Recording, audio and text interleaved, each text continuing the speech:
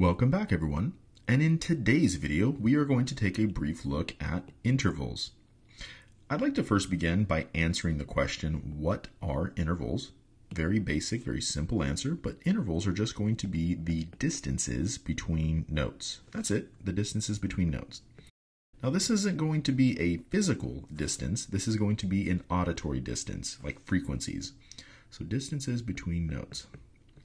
And we tend to look at intervals in two categories. One would be general intervals and specific intervals. We'll start with general intervals. So general intervals are if we said something like a second, a third, a fourth. Okay, so let's look at a C major scale, writing this out.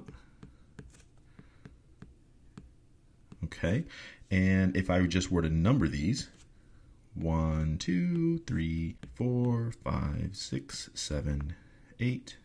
Going from here to here, we would call that a second, a third, a fourth, so on and so forth. You get the idea. This is a fifth, this is a sixth, this is a seventh, and this is an eighth or an octave. And those are general intervals. Specific intervals is if I had a very specific name for them. So instead of a second, I might call it, well, let's say for second, I could say something like, you could use terms like major second or minor second. You might also hear things like augmented. I'm just going to write aug augmented second, and you might also hear things like diminished, and I'll just write dim, diminished second. So those are specific intervals. So that's sort of the difference. Uh, specific intervals are specific. They tell you exactly what kind of second you are dealing with versus a general interval just kind of points you in the right direction. The way you might kind of think about this as an analogy is if I said drive north, well, we all have a general idea about where north is at. And on the other hand, I might give you a very specific coordinate set, right? And a coordinate set wouldn't just be, well, drive north.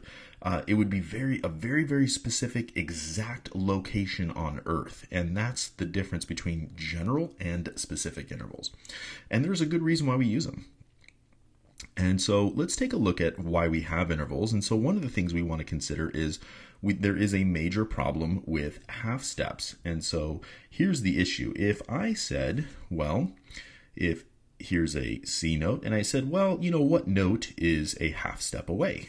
And well, that's easy. You'd go, well, gee, you know, a half step away would just give us a C sharp or, you know, maybe a D flat. Okay, and that's a half step. Very, very easy to do. Well, you know, what about two half steps? And two half steps would get us to D, and then if I said, well, you know, three half steps, and we'd have E flat, right? And so here to here, this is a half step. This is two half steps. This is this point now we've covered three half steps. But the issue is, well, what if I said something like, you know what, six half steps? And off the top of my head, I don't know. I actually don't know. Uh, what if I said seven half steps? or four half steps. Those are things that I don't know. They don't make sense to me because they're starting to get kind of large. And I could keep going. What if I said 10 half steps? What if I said, you know, four and a half steps? You can see where this is going. It gets really difficult to talk about intervals in terms of only half steps. And so we really have to have another system.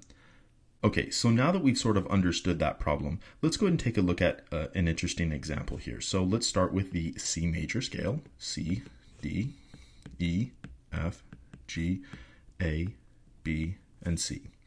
And once again, just numbering these, I know we already did this, but let's let's do it again just for repetition's sake. And what I'd like to do is point out a couple of things here. Let's look at this, and that would be considered a second. And if I looked at C to E, that would be considered a third, right? And if I looked at, ah, we'll do one more. If I looked at C to F, that's considered to be a fourth, okay? Now, what if I did the C minor scale? So C minor would have these notes. F, G, A flat, B flat, and C. Now, if I look here, oh, and actually let's label this as well. One, two, three, four, five, six, seven, and eight. And now this would be considered a second. This would be considered a third. And this would be considered a fourth. And hopefully right here, you, you have a problem with this because we're calling, okay, well, C to D, that's a second. Yeah, sure, we have a second here, but now we're calling C to E a third, and but here it's C to E flat is a third. And this is the exact idea of what's wrong with using general intervals, right? So if I say a third, what kind of third am I talking about? Clearly, clearly, this third over here, clearly this third is not the same third as this third, right? Because that's an E and this is an E flat. They're obviously different specific intervals, but they have the same general intervallic distance. In future videos, we are going to take a look at specific intervals uh, a little more closely.